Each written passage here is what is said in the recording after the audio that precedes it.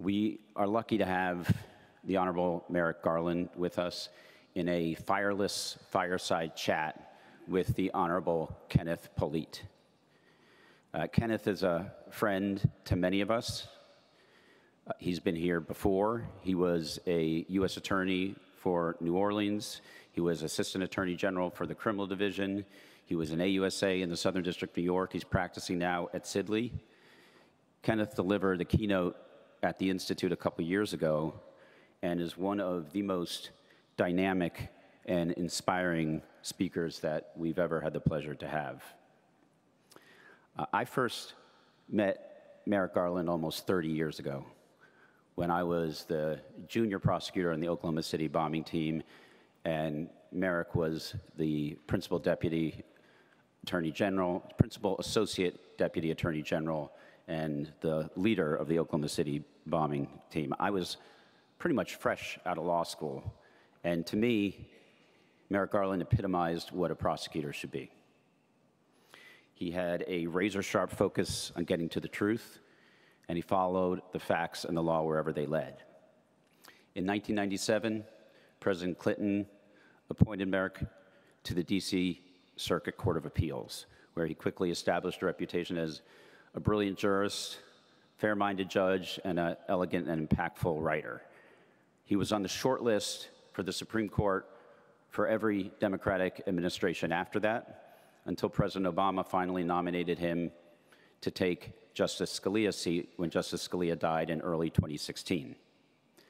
Despite the fact that Judge Garland had widespread bipartisan support, Senate Republicans refused to act on his nomination, and the Supreme Court functioned with eight justices for the better part of the year. Four years later, President elect Biden nominated Judge Garland to be Attorney General. Biden made this announcement on January 7th, 2021, the day after the most serious challenge to the rule of law that any of us have seen in our lifetimes. Merrick Garland was the person that the president thought was uniquely qualified to restore integrity to the Department of Justice and its reputation for independence. And then President elect Biden had this to say when he announced Judge Garland's nomination I want to be clear to those who lead this department who you will serve. You won't work for me. You are not the president's or the vice president's lawyer. Your loyalty is not to me, it's to the law, the Constitution, and the people of this nation. As Attorney General, Judge Garland has taken these instructions seriously. He's been scrupulous in making decisions based on the facts and the evidence, the law, and on maintaining the independence of the department. He has strived to ensure that there is not even the appearance of political consideration at the Department of Justice. In this fraught, polarized political atmosphere, it's very difficult to accomplish that. In fact, it's probably impossible, considering some of the decisions that Judge Garland has had to make as Attorney General. Here we are in 2024, and the rule of law continues to be under assault. Americans' faith in our most important institutions, including the Department of Justice, continue to be undermined. We are lucky to have Merrick Garland in the seat that he has occupied these past three years. We owe him a debt for this and for his career of public service. Ladies and gentlemen, I give you the Honorable Kenneth Polite and the Honorable Merrick Garland, the 86th Attorney of the United 86th Attorney General of the United States.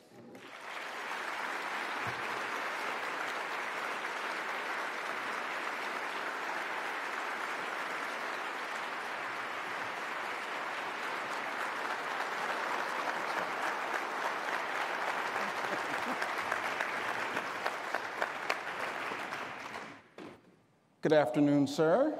Good afternoon, sir. It's, it's good to be back together. It is. Uh, thank you for joining us in sunny San Francisco.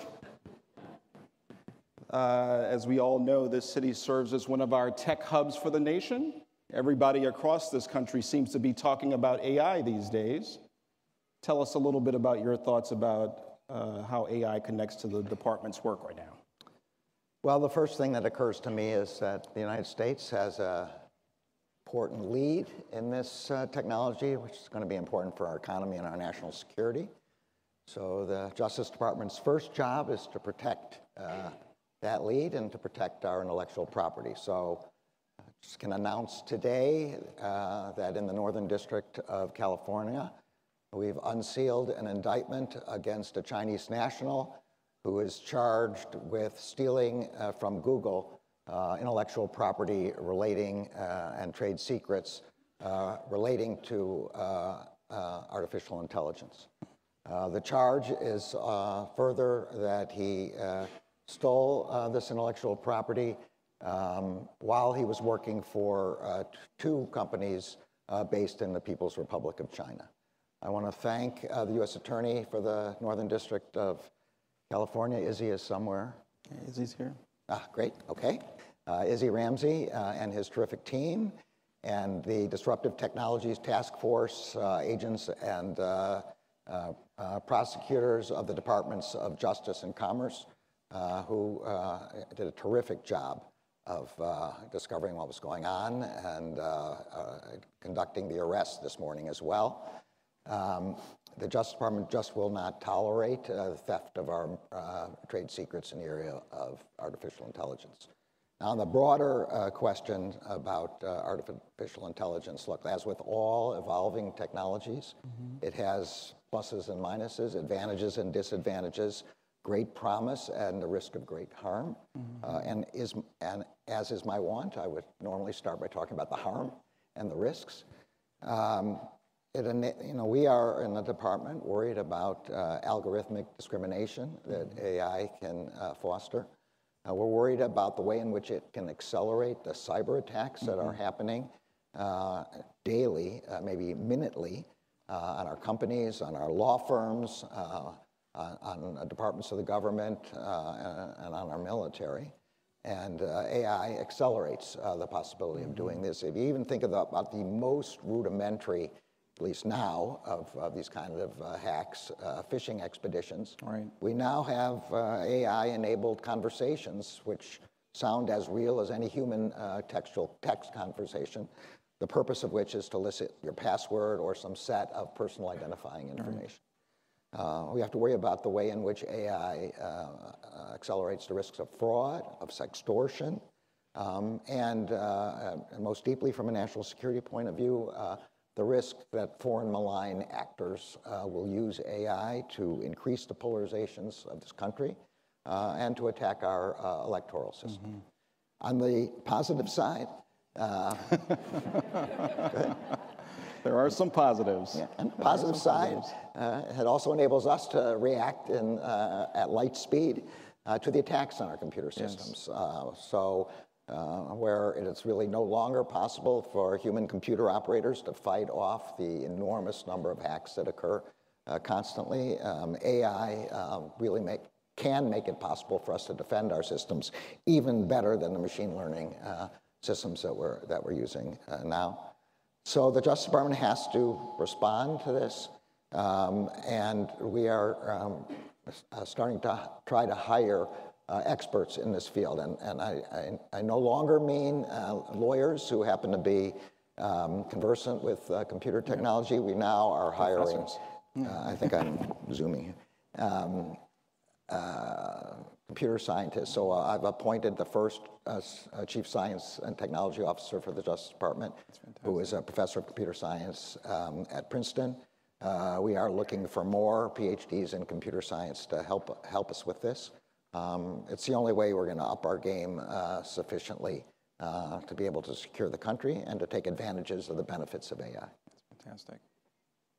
AI is an example of something that's relatively new to the department's work. I, I just wrapped up my third tour of duty in the department. I think this is your fourth tour of duty yeah. in the department. Uh, when you came back this time, what did you find was uh, a little bit different, and what was, what was the same? Well, I think what's the same, as you well know, is the dedication of the career uh, uh lawyers and uh, staff of the department uh, to doing the right thing and to doing it in the right way uh, to, to filtering out the noise of uh, Washington and politics and the noise of every district, so that we just do what our, our, job is supposed to do. And I'm, I'm really proud to find that that department is still the way it was when I was last there.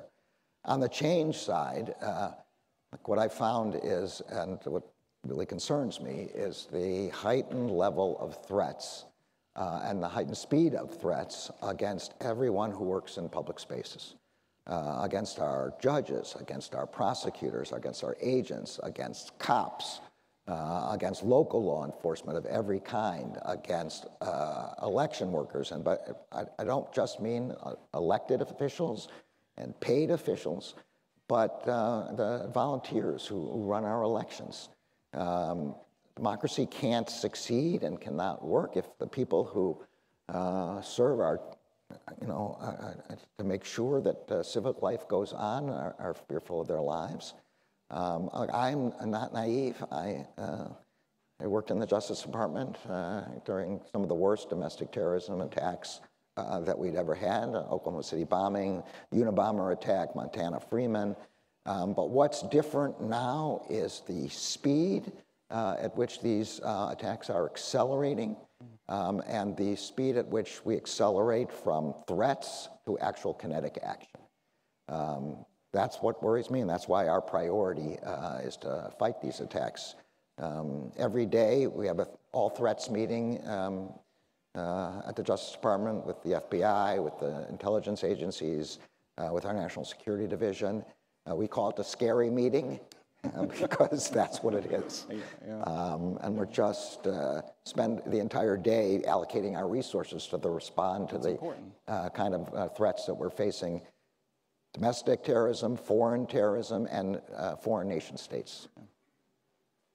Let me just follow up on some of the, those high profile cases that you've, you've been involved in in your career. You mentioned Unabomber, you mentioned Oklahoma City. Uh, you've lived a life responding to some of the most high profile threats.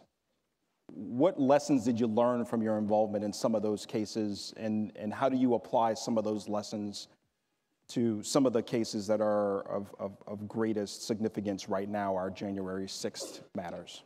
Well, as you well know, because of your participation in the January 6 uh, investigations, uh, you know, the first point is we know when we have a case of this level of complexity and this level of consequence for the country that we have to get it right. Um, that we have to focus our attention on ensuring that we get it right.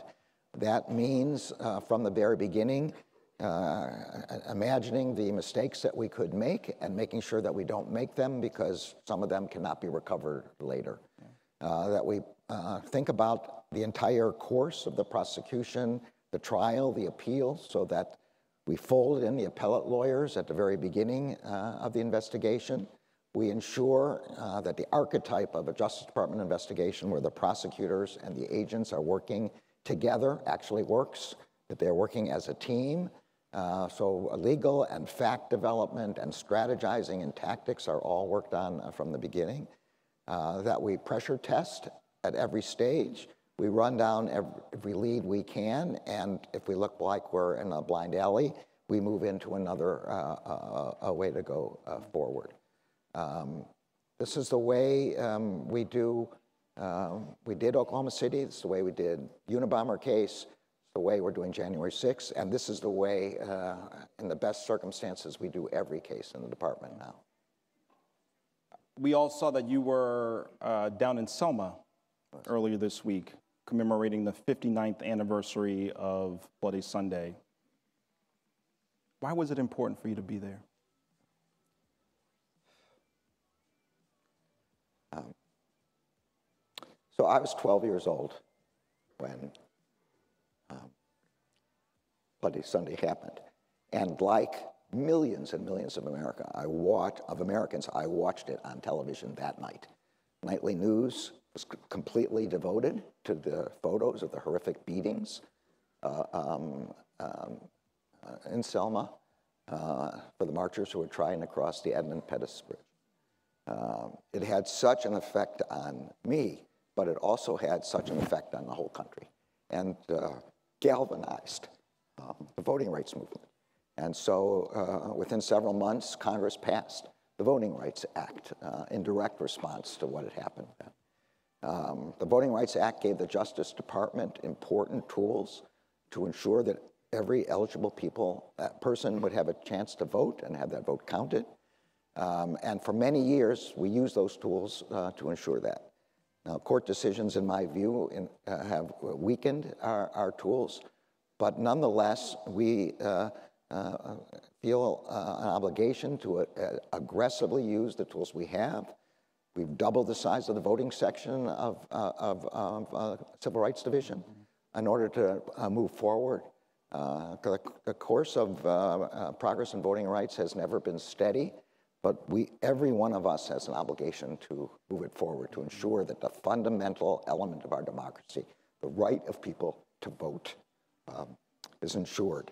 The other side of what's also happening here, and I, I just alluded to it before, yeah. is that you know, the attack is not just on uh, voters, it's now on the people who facilitate the elections. It's the, it's the, as I said, it's the election officials, it's the paid workers, um, and it's the volunteers. Yeah. And um, if they are not willing to come out and make sure that our elections go forward in a fair way, we are not going to have elections. So it's a major priority of the Justice Department to aggressively pursue the people who are making these threats and, and obviously the ones who are carrying them out. We, we are all thankful to you for your commitment to protecting civil rights, sir. You know that. Uh, you have lived a career of tremendous public service, including nearly 25 years in the DC Court of Appeals. It's a long time as a judge. What do you miss about it? I mostly miss um, judicial immunity. you may have noticed I'm a pretty bad guy. I'm on the wrong side of the V of an enormous a lot of cases. number of cases. something we didn't worry about too much as judges. Um, look, uh, I, sometimes I feel like I personally have a split personality. I like the time that I had as a judge to think deeply about uh, matters, to ensure that we got everything exactly right, uh, that the writing was uh, clear and, and um, uh, uh, treated respectfully the arguments of the parties. Um, um, but there's disadvantages to being a judge. Uh, uh, appropriately so. The passive virtues of the judiciary are that you, uh, you are not an act, you don't reach out and actively take cases. You take the cases that come to you. The cases that come to you come uh, through random number generator. So you may or may not get the case that you want, and you can't reach out to do it. And uh, uh, with apologies to people who are waiting for their opinions to come out, uh, they often take a while uh, to come out. Uh, now, every day, if I go to the threats briefing in the morning, or I read the reports from our friends in the press about things that the Justice Department is doing or should be doing, uh, we read it in the morning, the leadership team of the department can do something about it yeah. by the end of the day or by the end of the week, or can launch uh, an investigation or litigation that gets us there. And this is not something I could do uh, as a judge. So I miss it some.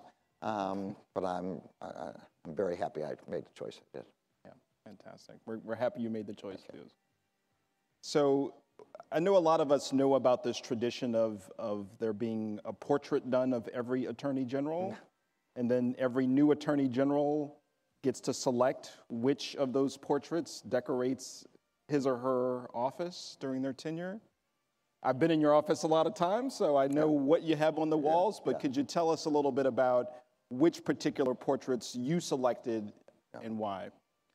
So uh, I chose uh, four portraits, uh, really, uh, of iconic attorney generals of the 20th century.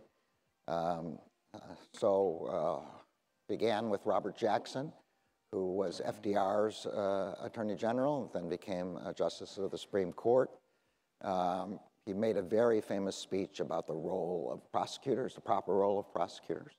Um, uh, early on, one of the first discussions of fact that we are not just law enforcers, we are also uh, there to provide justice and to ensure that when we do uh, bring a case, we treat people fairly. Uh, we recognize the enormous uh, uh, consequences of, of, bringing a case against a citizen and of the enormous power of the prosecutors, and that that has to be contained and constrained by the principles of, of, of prosecution. Uh, I did not imagine that actually why he turned out to be even more important uh, was when uh, Russia uh, invaded Ukraine um, and we saw the war crimes that were being committed. We reflected back that one of uh, uh, Jackson's jobs was to be the chief prosecutor at Nuremberg. So when I was in Lviv in, in Ukraine and we were talking about models of war crime trials, this immediately came you know, to the fore, and people were talking about Jackson all, all the time. Um, uh, two other uh, important portraits one of Elliot Richardson, who courageously stood for the independence um, of the Justice Department, its independence from politics uh, during the Watergate era, yeah. and Ed Levi, who was the first post Watergate uh, Attorney mm-hmm. General, who really started enunciating the norms of the department. Uh, the norms of treating like cases alike, uh, the norms of not having different rules for the uh, powerful and the powerless, rich and poor, the importance of keeping politics out of, uh, uh of what we do, um, uh, which later became encapsulated by the principles of federal prosecution, which former AUSAs here know, but so do all the defense counsels because yes. they're always citing them to us, properly so. Um, uh, and uh, built, uh, you know, the department built uh, uh, on that. Yes. Um, and uh, last but not at all least, Robert Kennedy, yes. who represents the civil rights mission of the Justice Department, who enormously increased the size of the civil rights division in the mm-hmm. department, who fought for civil rights um, in, um, throughout his career, but particularly in the Justice Department, and made sure that the Justice Department's uh, uh, mission included uh, civil rights. Um, civil rights was the original uh, formative purpose of the Justice Department. As you know, it was formed in 1870 uh, during uh, Reconstruction for the first principal purpose of protecting blacks who were being attacked by the Ku Klux Klan. Um, and that is a continuing element of uh, the responsibility of all Justice Department uh, lawyers. And just to follow up on there, every everywhere you go, or whether you're talking to your, your component heads, you talk about three co equal priorities of the department upholding the rule of law, keeping America safe, protecting civil rights. I kind of still remember uh, Good job. verbatim, right? How does the department's white collar work fit into those three priorities? Yeah, so obviously, with respect to protection of civil liberties and civil rights during investigations, following the rule of law during investigations. I would focus now on the protection of the country um, and the protection of the economic institutions of the country that make our other institutions uh, and our success possible. Um, the integrity of those economic institutions uh, uh, depend on um, uh, people um, uh, believing that uh, everybody's treated equally in the country, that um, our institutions are not undermined by everything from fraud to insider trading. Uh, that uh, damages uh, respect for the economic institution. But uh, the, the, second element of this is our democratic institutions. Mm-hmm. If people think that, the, that there is a different rule for the powerful and the powerless and the rich and the poor, they lose um, uh, um, respect not only uh, for the Justice Department and for prosecutors, um, but for uh, the rule of law in the country. Uh, and that's why our first priority in the area of white collar crime is going after individual uh, bad actors. Uh, all of us know that, all of us in this room know that corporations are actually the, the, the acts of corporations are the acts of individuals. All of us in this room who have counseled uh, corporations, and I did very early on in, in, my career know that the greatest deterrence uh, to white collar crime is uh, fear of individual prosecutions of the executives and companies. Um, but the most important element of this is the rule of law that people see that if a corporate executive is held to account, is imprisoned for a corporate crime, that people are being treated equally that there isn't a, a different set of rules, that like, like circumstances are treated alike, that increases uh, respect for the rule of law. And contrary, uh, without that, uh, people's respect for the rule of law uh, goes down in every, every element. So, sir, you did a fantastic job with answering all those, all those questions. Uh, I saved the, the most difficult for last. We all know that you're a big fan of uh, a certain pop star. Oh, jeez. If you had to select one, only one, Taylor Swift song to be the theme song, the anthem for the Department of Justice right now, what would it be? All all right, I have that one, but first, the anthem for this group. Uh, some people maybe are nodding their heads, but I'm not sure how many people know. Uh, Taylor Swift uh, wrote a song uh, which uh, explained the uh, benefits of telling your white collar crime to the FBI. That song is on Midnights. Uh, it's called Vigilante Something. If you Google it, you'll find out what something stands for. So it should, that should be the theme song of uh, the White Collar Crime This Institute. conference. Yeah, Okay, all conference. right, okay. Uh, with respect to the Justice Department, and my favorite song is "Shake It Off." See? Okay. it, it means quite a lot, I think, for all of us in the Justice Department. You shake off the outside attacks, you shake off the political stuff that's going on, you do your job, you follow the principles of prosecution, and you follow the rule of law. You had a lot of cho- you had a lot of choices there. Bad blood. Yeah, yeah. Well, if you'll, leave, if you'll just leave a blank space, I'll be able There to fill it in. Uh, well, sir, we are just a couple days away from your three-year anniversary as our Attorney General, uh, and we we cannot be more honored that you've given your time to be with us uh, today. And the time of a lot of representatives from the department are here as well. Uh, just on a personal note, I just uh, have to say it was an honor of a lifetime to serve with you. Uh, ladies and gentlemen, our 86th Attorney General, Merrick Garland.